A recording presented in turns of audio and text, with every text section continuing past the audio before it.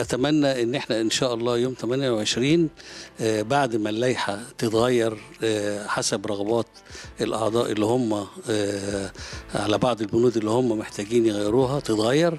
أتمنى من كل الأعضاء إن شاء الله آه، آه، نذهب يوم 28 ونعمل لائحة اللي تليق باسمنا وباسم النادي الأهلي العريق وباسم أعضائه وباسم مجلس إدارته الكبير فعلا مواطن أهلاوي لأن أنا بحب الأهلي ابا عن جد. وزي ما أنا قلت لك أنا لا يمكن أتخلى عن النادي الأهلي في أي يوم وأي مطلب وأنا طول عمري بحب أخدم النادي الأهلي آه، مش رسميا من خارج النادي وبحب أي حاجة تطلب مني من أجل النادي الأهلي لأن أنا بقول لك زي ما قلت بعتبره ده بيتي التاني اللي أنا بنتمي إليه آه، روحا وعقلا وجسمانيا وروحانيا. وهو اولا خليني الأول أشكر آه، السادة أعضاء مجلس إدارة النادي الأهلي آه، لأن هم آه، يعني استجابوا لكثير من الأعضاء ولينا إحنا خصوصا وبالأخص كابتن العظيم آه، كابتن محمود الخطيب. وأنا شخصيا لما قريت اللائحة آه، كتبت له قلت له يا كابتن محمود اللائحة فيها بعض العوار ومحتاجة تنقيح. وهو رد عليا في نفس الوقت وقال لي دي عبارة عن مسودة وإحنا ب- مستنيين آرائكم. وإن شاء الله يعني بعد ما كل واحد يقول رأيه نتمنى إن إحنا نصل إلى لائحة لائحة آه، آه، ترضى عنها جميع آه، الم- الأعضاء المختلفين في النادي الأهلي وإن شاء الله آه، نقف موقف واحد بعد إن شاء الله ما ننقح ال- اللائحة ويستجاب مجلس الإدارة للتغييرات اللي هي البسيطة اللي محتاجة إن هي آه، تخليها لائحة من أحسن اللوائح اللي موجودة في نوادي جمهورية مصر العربية إن شاء الله. أشكر ال- اللجنة اللي هي بذلت مجهود كبير لعمل اللائحة ديت لائحة آه، محترمة ولائحة تليق آه، بالنادي الأهلي وتليق آه، بالأعضاء اللي هم كتبوها. هي طبعا ما فيش بيبقى حد بيوافق أو ما فيش اقبال 100% على حاجة. دايما الاختلاف موجود ودي الاختلاف سمة ال- الحياة. فشيء طبيعي إن الناس ديت تجتهد وتكتب وتعمل حاجة اللي هم من وجهة نظرهم إن هي مفيدة للنادي وإن هي صح للنادي. لكن في بعض الآراء وإحنا نتمنى إن المجلس والقائمين على اللائحة إن هم يعدلوا الحاجات اللي هي مطلب للأعضاء ودي مهمة جدا. هي عموما حاجات بسيطة جدا في اللائحة تتعدى سبع ثمان مواد وأرجو إن مجلس الإدارة يعني يهتم بيها ويغيرها لأن اللائحة معمولة لمصلحة الأعضاء وليس موضوعه لمصلحة عضو مجلس الإدارة.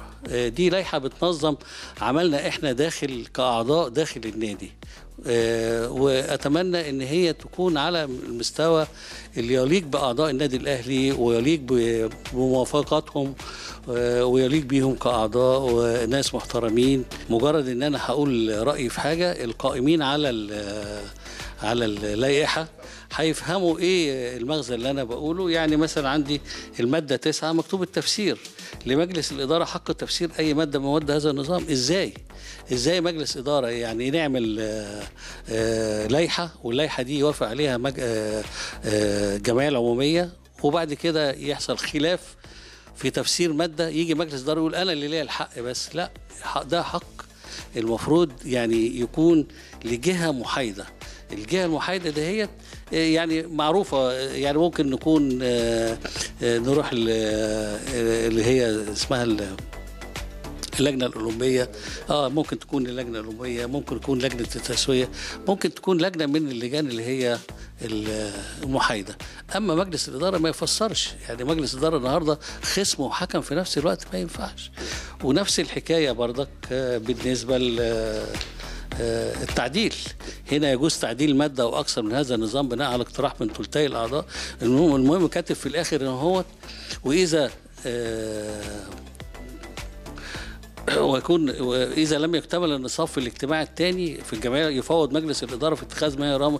إذا كان الاقتراح تعديل مقدمة مجلس الإدارة أما إذا كان مقدمة من أعضاء الجمعية العمومية من له محقق فإن التعديل يكون غير مقبول. يعني هي مقبول من مجلس الإدارة إذا الجمعيه العمومية ما اكتملتش وغير مقبول من الجمعية العمومية. إزاي؟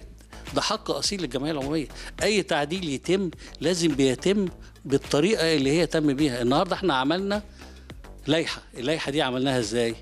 كتبناها وجم أعضاء مجلس الجمعية العمومية وافقوا عليها. النهارده عايز تعدل عدل بنفس الطريقة. ما تعدليش بأي طريقة تانية. دي ماده الحتة بقى المادة المهمة قوي اللي إحنا كلنا مختلفين عليها. اللي هي المادة 12 وخصوصا اللي هي بتاعة الطلاق والزواج واكتساب العضوية.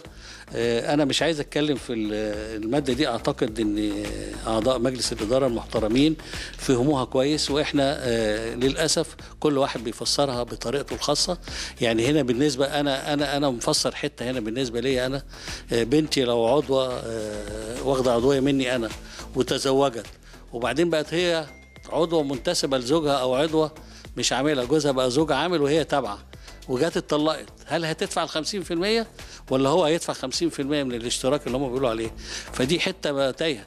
ال- الطلاق وال- والوفاء. الوفاء إيه اللي دخله مع الطلاق؟ يعني كفاية قوي إن واحدة زوجها توفى إن هي هتبقى عضو في النادي وتدفع ال- الاشتراك. زوجها توفى ودفعها الاشتراك ودفعها 50% ده كتير قوي. أنا شايف ال- المادة اللي هي كانت في لائحة آه، اللائحة النموذجية اللي هي موجودة اللي, اللي إحنا بنشتغل بيها دلوقتي نفس المادة ديت نمشيها. المادة كويسة جدا وما بتتكلمش ومش مدخلانا في متاهات اللي اتجوز واللي اتطلق واللي عمل الكلام ده كله ما فيش. إحنا فترة الخمس سنوات ديت كويسة قوي. لو واحد تزوج واحدة أقل من خمس سنوات واتطلقت خلاص. مات؟ لأ. الموت ده لأ يا جماعة. الموت ده حاجة تانية خالص. ما ندخلش الموت والطلاق مع بعض. الطلاق ده حاجة والموت حاجة تانية. يعني واحدة تخسر ال- العضوية بتاعتها عشان جوزها توفى وهي متجوزاه بقاله 3 4 سنين وما عندهاش عيال لأ مش منطق ابدا. فأرجو إن إحنا يعني نشوف ال- ال- البند ده هوت اللي موجود في اللوائح حتى اللي قبل كده وناخد بيه اللائحة اللي هي اللي إحنا شغالين بيها دلوقتي. البند ده كويس لمصلحة العضو. أنا شايف بيقول لك إيه؟ إن هو جميع متى سددت رسم الاشتراك وأي رسوم أخرى قررها مجلس الإدارة. يعني إيه أي رسوم أخرى قررها مجلس الإدارة؟ في نفس المادة برضه. أي رسوم أخرى دي صعب جدا. ما أنا أنا النهارده بدفع رسم الاشتراك. وأي رسوم دي ممكن تيجي تحددها لي مرة 20000 ومرة 30000 لا أنا عايزها حاجة محددة. وبعدين أنا مش عايز اثقل العضو أكتر من اللازم وخصوصا إن العضو ظروفه المادية مش ممكن تكون مش جامدة قوي وتكون تعبانة. النهارده نقول له يا تدفع يا تبقى بره دي مشكلة. أو بنتك تدفع أو تبقى بره مشكلة. العضو الموسمي أنا مش مش عارف يعني برضك آه، المفروض آه، يعني زي إحنا ولا بد نكتب يبقى نكتب العضو الموسمي يكون أجنبي ويدفع بالعملة الصعبة. إنما إحنا نعمل عضوية عضوية شرف عضوية موسمية وندخل كل من هب ودب والنادي ما شاء الله دلوقتي. بقى الأعداد مهولة فيه مش لاقيين مكان نقعد فيه. خامسا عضو الفرد عضو الفرع اللي قال لك تقتصر عضوية عضويته على فرع النادي ويعمل مش عارف إيه ويجوز لعضو لعضو الفرع اكتساب كذا أنا بقول هنا هو ماشي الكلام ده كويس جدا بس في حكم محكمة إدارية عليا. الحكم ده هو بيدي العضو الفرع الحق في الانتخاب مش الترشيح. يعني انت مش هترشح لو رشحت نفسك هتدفع بقية ال- الفلوس. لكن الانتخاب ده حق لأي حد. إذا كان إذا حكم محكمة الاداريه العليا قالت كده وده حكم بات حكم نهائي. إحنا نحترم الحكم ده هوت ونطبقه.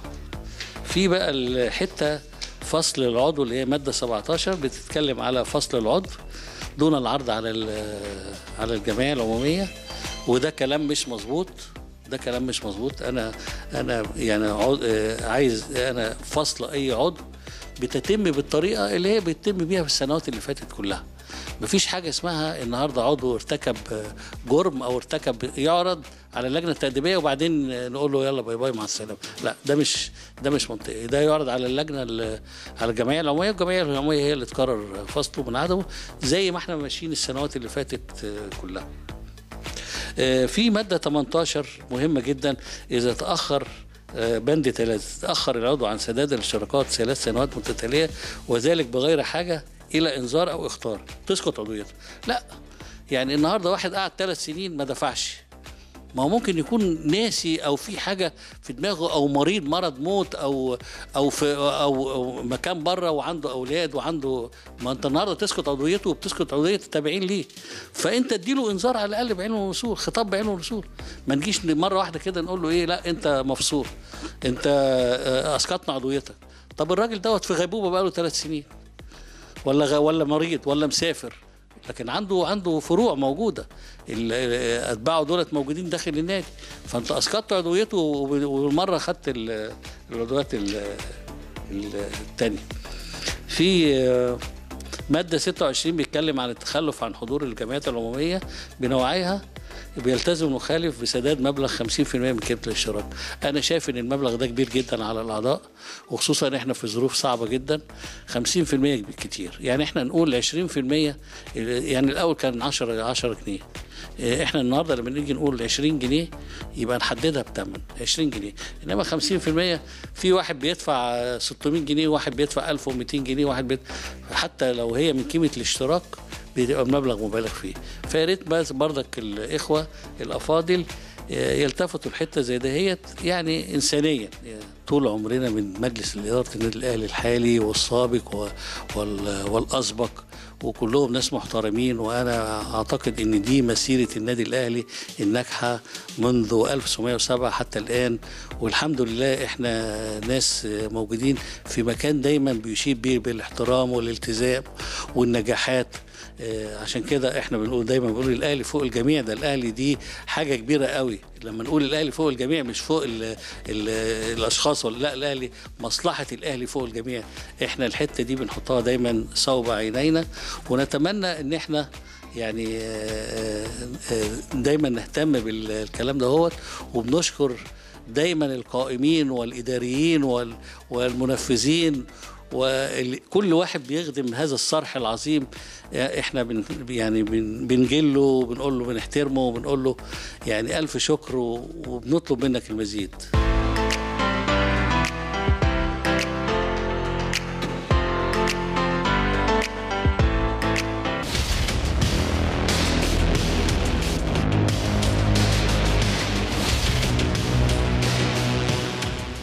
حريصين إن إحنا آه، نحضر الجمعيات العمومية سواء جمعية عمومية عادية أو غير عادية عشان في الجمعية العمومية دي إحنا بنقرر مصير النادي آه، الأهلي وإذا كان في لائحة بنناقشها فإحنا طبعا دائما آه، بنحضر الجمعيات العمومية بتاعت النادي الأهلي وبنناقش فيها أي بنود بتطرح علينا كأعضاء يعني. هي لائحة النادي الأهلي طبعا إحنا كلنا كنا منتظرين لائحة النادي الأهلي مع مجلس الإدارة الجديد عشان اللائحة ديت هي اللي بتنظم حقوقنا وواجباتنا نحو النادي بتاعنا ونادينا العريق.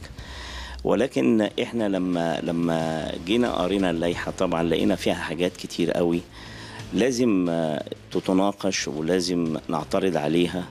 ده من منطلق حبنا لنادينا ومن منطلق حبنا لل... لل... لل... في... للنادي في الفترة اللي جاية.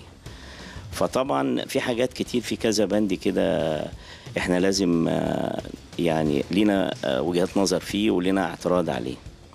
لو جينا اتكلمنا على على البنود آه، من أول حاجة يعني البند في المادة 11 طبعا هو في الأول اللائحة جه عرف النادي الأهلي. النادي الأهلي كيانه إيه؟ النادي اللي هو الفرع الرئيسي في ثلاثة شارع صالح سليم بالجزيرة وإن النادي الأهلي له ثلاث فروع. لما جه عرف آه، عضو الفرع اللائحة جت عرفت عضو الفرع.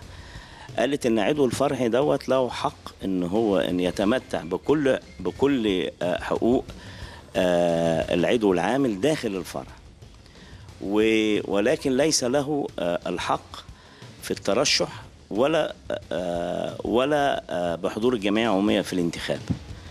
طبعا أنا هنا بتكلم بس في نقطة مهمة جدا. إحنا نادي أهلي أعضاء مدينة نصر بقالنا أكتر من 28 سنة بنروح ننتخب وبنروح وبنترشح. وطول عمرنا ماشيين انت النهارده لما لو انت هتعتبر ان النادي الاهلي فرع مدينة نصر ده فرع يبقى انت هنا بتلغي أكتر مش عايز أقول أكتر من خمسين ألف عضو ما يبقاش ليهم اي حقوق لا في الترشح ولا في. في الانتخاب ف... فلازم النقطة دي لازم تعدل ولازم توضح ان عضو النادي الاهلي أو عضو مدينة نصر ده راج... ده عضو يعتبر عضو اساسي من زي ال زي ال ال العضو بتاع الجزيرة بالظبط وإن العضو ده له له يتح لازم يتمتع بكافة الحقوق اللي هو آه اللي هو خد عليها بقاله أكتر من 27 أو 28 لكن ما تجيش تقول لي إن أنت عضو فرع وإن الفرع دوت ملوش حق لا الانتخاب ولا الترشح. عايز لو أنت عايز تحكمها يبقى ابدأ موضوع الفرع ده يبقى بتاع الشيخ زايد أو الفرع بتاع التجمع ما سيكون إن شاء الله. لكن دي أنا بطالب إن إن إن, إن لازم عضو مدينة نصر ده بيعتبر عضو أساسي وليس عضو فرع. برضو من ضمن الماده 11 اللي هو العضو الموسمي. طبعا هنا في اللائحة قالت إن مجلس الإدارة يحق له أو يقر إن هو يضيف العضو الموسمي مدة لا تقل عن شهر ولا تزيد عن ست أشهر. طبعا أنا طبعا المادة دي أنا بعترض عليها كليا لأن العضو الموسمي دي اولا إحنا أول مرة نسمع عنها أو إحنا ما ما سمعناش عنها على الأقل في نادينا في النادي الأهلي. والعضو الموسمي ده هيبقى على الأقل لو قعد ست شهور هياخد نفس الحقوق اللي أنا باخدها وهيتمتع بكل الحاجة الوحيدة اللي هو مش هيتمتع بيها هي الانتخاب أو أو أو أو الترشح. وده طبعا ده بيتم كل أربع سنين. فالراجل العضو الموسمي دوت هيتمتع بكل شيء. وطبعا إحنا النادي الأهلي الحمد لله باعضائه كتروا. وإحنا بصراحة يعني إحنا مش ناقصين مش ناقصين أعداد زيادة.